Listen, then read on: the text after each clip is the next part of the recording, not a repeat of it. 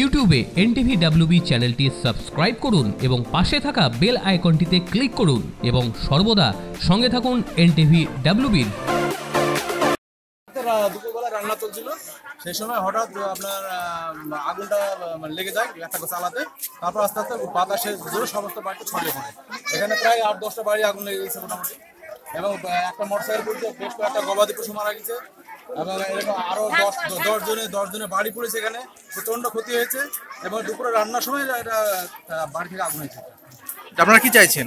আপনার এখানে একটা ক্ষতিপূরণের ব্যবস্থা করা হোক যাতে সবাই অনেক সবাই যেন গরিব মানুষ এখানে সরকারি সাহায্য পা- পাক যাতে সেই ব্যবস্থা করা হোক এটাই বলছি আমরা। না দমকলে তো একটা দমকলে ফোন করা হয়েছে দমকল ধরনের আজকে দমকল দমকলটা আমাদের প্রয়োজন। আমাদের দমকল আসবে তো দমকলটার উদ্বোধন হয়েছে তো দমকলের কোনো কাজ নাই। এবার সে বহরমপুর থেকে দমকলটা আসছে এখানে।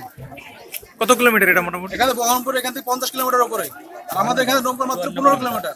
এক সপ্তাহ আগেও তো এরকম ঘটনা হ্যাঁ, হয়েছিল। এক সপ্তাহ আগে আমাদের এই গ্রামে হয়েছিল তখন পুড়ে যাওয়ার সমস্ত পুড়ে যাওয়ার পরে তারপরে দমকল এসেছিল এখানে। কি নাম আপনার? আমার নাম ডাক্তার মিঠু আমার তৈমুরিমাম হাসান আমার নাম। বাড়ি থাকি ওই পায়ে আছে ওই আখা থেকে আসি। আগুন মুড়ি পড়েছে পড়ে এই বাড়ি সব পুড়ে গেছে কিচ্ছু নাই। এখন কাপড় নাই কুড়ি মুন্ডন পুড়ে গেছে কটা বাড়িতে হয়েছে এরকম?